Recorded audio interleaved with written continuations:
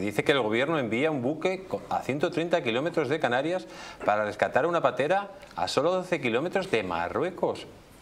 Esto es increíble, o sea, están directamente yendo, yendo a, buscar a los ilegales para traerlos a Canarias, señor eh, Simón. Pues una vergüenza. Otra vez más, ¿queréis que os diga? Esto es un negocio, esto es un business.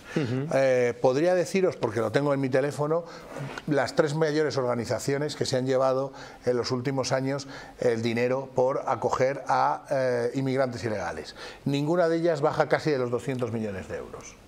Así de fácil. ¿Qué sucede? Que cuando tú eres un traficante, porque esto, esto al final es colaborar con los traficantes de seres humanos.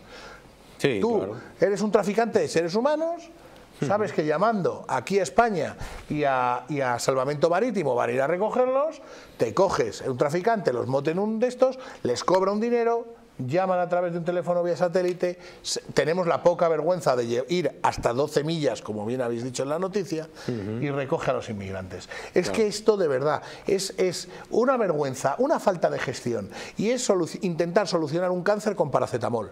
Aquí nadie pone una receta encima de la mesa, parece que nadie tiene soluciones, las soluciones existen, ¿eh? las soluciones se pueden implementar, pero claro, como tenemos unos políticos que son unos necios y unos negados, ¿qué les vamos a pedir?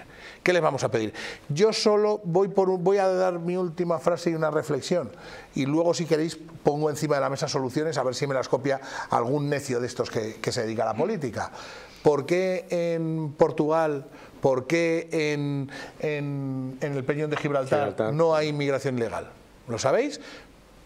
¿Por qué Lampedusa era un icono de llevar allí a gente con el Open Arms y tal y ahora mismo ya no lo es? Porque ya no llega ni, nadie. Bueno, pues luego si eso decimos Nosotros vamos directamente a recogerlos. Claro, es que... Claro, eh, cuando la inmigración se ha convertido en un negocio, para todos ellos, un business, tenemos eh, la prioridad ya no es resolver un problema, sino es vivir de un problema que ellos mismos han generado y generan diariamente. Ellos juegan con las emociones de personas que precisan auxilio o precisan ayuda, pero es que ese no es el debate.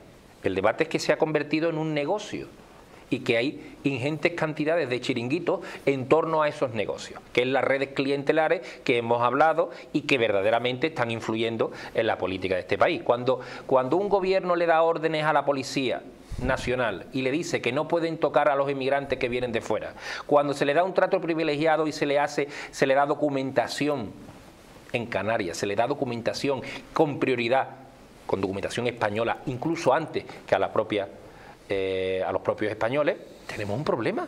Y cuando eh, eh, el gobierno de Marruecos pone encima de la mesa y da una amnistía a 6.000 o 7.000 delincuentes y los traen y los mandan a España a delinquir, pues tenemos un problema que se ha convertido en un negocio. Y desgraciadamente, pues la oposición pues ni está ni se le espera a, este gobierno. Y ahí es donde tenemos nosotros que, denunciarlo clara y, y con, todo lo, con toda la rotundidad.